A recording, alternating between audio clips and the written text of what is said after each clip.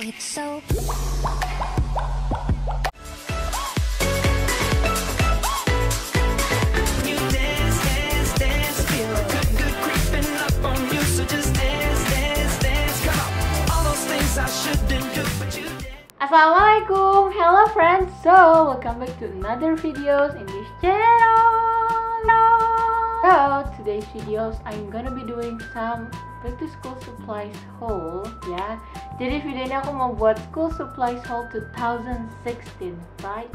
Sebenarnya uh, kita tuh sekolah masih sekitar dua mingguan lagi kalau nggak salah tuh masuk tanggal 19 ya hari Senin kalau nggak salah Nggak, 19 atau 18 ya pokoknya itu dan tapi karena aku ngerasa nggak ada materi video lagi ya udah akhirnya aku mau buat back to school supplies ini dan nanti tadinya kan aku mau bikin video fun holiday DIY tapi itu aku pending dulu mungkin besok. Atau besok lagi aku nggak tahu. Nah makanya hari ini aku mau buat school supplies haul dulu. Oke so daripada kelamaan let's get started! Oke jadi di sini aku udah ada oh, four plastic bag jadi aku belanja semuanya di Gramedia. So kita langsung mulai ke yang pertama this is oh Oh, this is the first plastic. Oke yang pertama aku pilih itu adalah ini. Ini adalah tempat pensil gitu.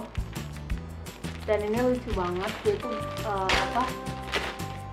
Eh, apa warnanya tuh bener-bener colorful dan neon-neon gitu. Makanya aku pilih. It's so cute! Selanjutnya aku beli tempat pensil lagi. Ini ini tuh out of the box ini kayak cat kidston tapi bukan cat kidston. Dan ya bentuknya nih ini pattern bunga lagi yeay aku senang. Selanjutnya aku beli mini notebooks I think. Mini notebooks kayak gini. Patternnya bunga lagi. Jadi ini cuma kayak dalamnya tuh kayak gini doang.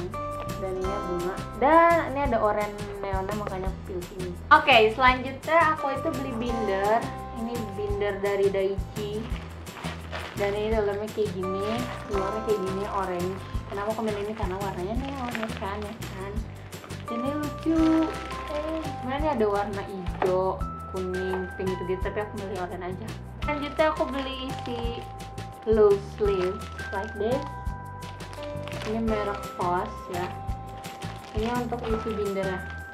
Selanjutnya aku beli scissors scissorsnya warna biru atau Tosca. Ini Tosca apa biru sih? Pokoknya neon neon biru gitu. Ini Faber Castell sebenarnya sih ini buat anak kecil tapi ya lucu aja warnanya. Selanjutnya aku beli Sharp Ilok Sharpie Fine Neon. Ini ada kuning, pink, green, orange, hijau. Pokoknya gini ini neon tuh ada tulisannya ya. Neon neon neon neon. Kenapa aku beli ini? Iseng karena ini lucu karena warnanya sesuai sama tema aku kali ini jadi aku makanya beli ini. Selanjutnya aku beli ruler right aku beli penggaris. Ini penggaris dari Muppet ini yang warna biru. Jadi ini tuh warnanya kayak biru-biru terang gitu makanya aku pilih. Dan ini tuh bisa kayak nggak fokus ini bisa 15 cm dan bisa 30 cm selanjutnya aku beli Faber Castell Text Liner or Highlighter. Aku milih ini karena neon warnanya apaan sih Chan? Dari tadi pokoknya semua yang aku pilih ini hampir semuanya neon. Jadi ya next. Aku beli Sarah Sarasa pen ini aku beli karena this is the best pen in the world menurutku sih aku pokoknya suka banget sama Sarasa. Ini aku beli yang ukuran 0,5 sama 0,7 terus aku beli correction tab or Tipex aku beli warna pink. Ya ini dia. Aku beli warna pink. Dan ini ada refillnya. Ini aku pilih warna pink karena aku belum beli staff warna pink kalau saya. Dan ini lucu. Selanjutnya aku beli pensil 2B begini dan ini merek Faber Castell. Sebenarnya ini da sebenarnya aku pengen yang biasa aja tapi karena mau nyamain gitu jadi aku pilih yang warna ungu gini. Lucu. Terus ini kayak ada selanjutnya aku beli glue stick. Aku beli yang merek Deli. Ini warna pink neon sama ada oranye neonnya jadi aku beli selanjutnya. Selanjutnya, aku beli Faber Castell Super Fine Lead bentar. Ya ini si pensil yang Faber Castell. Sorry balik nih. Selanjutnya aku beli stapler set. Ini bener-bener cute banget. Dia tuh mini gitu bentuknya. Ya pokoknya ini dia mini banget. Dan ini merek Daily dan di sini tuh ada apa sih pattern gajah gitu.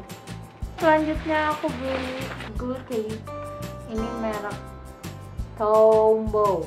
Tombau Tambau pokoknya dia tuh tape tapi dia buat ngelem gitu. Dan ini warna biru sama hijau neon lain selanjutnya aku beli pencil sharpener. Dari Daily lagi aku beli yang lime or neon green neon I think. Selanjutnya aku beli pensil mekanik ini merek standar yang warna kuning neon. Selanjutnya aku beli Muppet eraser yang kayak gini. Karena warnanya lucu jadi aku beli. Serasi banget. Oke yang terakhir dari plastik yang pertama itu adalah ini.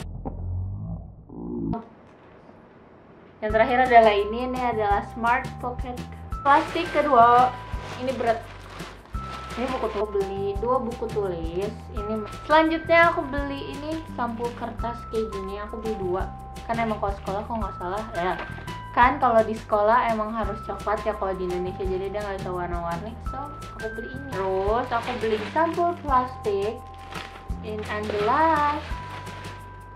aku beli label untuk nama gitu. Merek TNG Tom and Jerry. Terus plastik ketiga.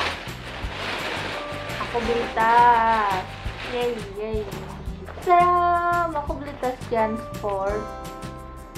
Ini lagi tadi tuh aku beli lagi diskon. Kenapa aku beli ini? Ini lucu banget. Look at that the pattern.